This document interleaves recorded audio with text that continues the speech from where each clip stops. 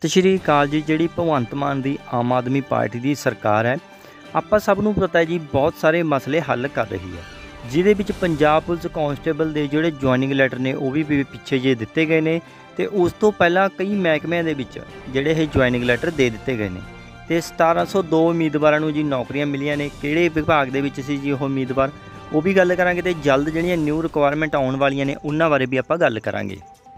ਤਾਂ ਤੁਹਾਨੂੰ ਦੱਸ ਦਈਏ, ਬਿਜਲੀ ਵਿਭਾਗ ਨੇ ਪਿਛਲੇ 6 ਮਹੀਨਿਆਂ ਦੌਰਾਨ 1702 ਉਮੀਦਵਾਰਾਂ ਨੂੰ ਨੌਕਰੀਆਂ ਦੇ ਦਿੱਤੀਆਂ ਨੇ, ਜਿਹਦੇ ਵਿੱਚ ਤੁਸੀਂ ਦੇਖ ਸਕਦੇ ਹੋ, ਪੰਜਾਬ ਪੰਜਾਬ ਦੇ ਬਿਜਲੀ ਮੰਤਰੀ ਹਰਭਜਨ ਸਿੰਘ ਈਟੀਓ ਨੇ ਜਾਣਕਾਰੀ ਦਿੰਦੇ ਦੱਸਿਆ ਕਿ ਪੰਜਾਬ ਸਰਕਾਰ ਸੂਬੇ ਦੇ ਵੱਧ ਤੋਂ ਵੱਧ ਨੌਜਵਾਨਾਂ ਨੂੰ ਸਰਕਾਰੀ ਨੌਕਰੀਆਂ, ਰੋਜ਼ਗਾਰ ਮੁਹੱਈਆ ਕਰਵਾਉਣ ਵਿੱਚ ਵਚਨਬੱਧ ਹੈ।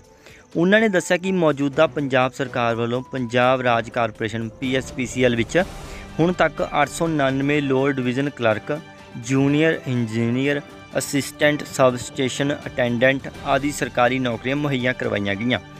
ਉਹਨਾਂ ਨੇ ਦੱਸਿਆ ਕਿ ਹੁਣ ਤੱਕ ਨੌਕਰੀ ਦੌਰਾਨ ਜਾਨ ਗਵਾਉਣ ਵਾਲੇ 86 ਕਰਮਚਾਰੀਆਂ ਦੇ ਵਾਰਿਸਾਂ ਨੂੰ ਪੀਐਸਪੀਸੀਐਲ ਵਿੱਚ ਤਰਸ ਦੇ ਆਧਾਰ ਤੇ ਨੌਕਰੀ ਦਿੱਤੀ ਜਾ ਚੁੱਕੀ ਹੈ। ਤੇ ਬਿਜਲੀ ਦੇ ਬਿਜਲੀ ਮੰਤਰੀ ਨੇ ਦੱਸਿਆ ਕਿ ਪੰਜਾਬ ਰਾਜ ਟਰਾਂਸਪੋਰਟ ਕਾਰਪੋਰੇਸ਼ਨ ਵਿੱਚ ਹੁਣ ਤੱਕ ਠੀਕ ਹੈ ਜੀ, ਜੁਲਾਈ ਤੱਕ 727 ਜੂਨੀਅਰ ਇੰਜੀਨੀਅਰ ਜਿਹੜੇ ਉਹ ਨੌਕਰੀ ਲੈ ਲਈ ਗਈ ਹੈ। ਮਤਲਬ ਆਉਣ ਵਾਲੇ ਟਾਈਮ ਦੇ ਵਿੱਚ ਹੋਰ ਬਹੁਤ ਸਾਰੀਆਂ ਬਿਜਲੀ ਵਿਭਾਗ ਦੇ ਵਿੱਚ ਨੌਕਰੀਆਂ ਆਉਣ ਵਾਲੀਆਂ ਨੇ। ਤਾਂ ਤੁਸੀਂ ਆਪਦੀ ਤਿਆਰੀ ਕਰ ਸਕਦੇ ਹੋ, ਚਾਹੇ ਟਾਈਪਿੰਗ ਦੀ ਹੋਈ, ਚਾਹੇ ਠੀਕ ਹੈ ਜੀ, ਹੋਰ ਸਟੱਡੀ ਰਿਲੇਟਡ ਹੋਈ। ਤਾਂ ਇਸੇ ਤਰ੍ਹਾਂ ਦੀ ਨੌਕਰੀ ਰਿਲੇਟਡ ਅਪਡੇਟ ਪਾਉਣ ਵਾਸਤੇ ਆਪਣੇ ਚੈਨਲ ਨੂੰ ਸਬਸਕ੍ਰਾਈਬ ਕਰਨਾ ਨਾ ਭੁੱਲਿਓ। ਧੰਨਵਾਦ ਜੀ।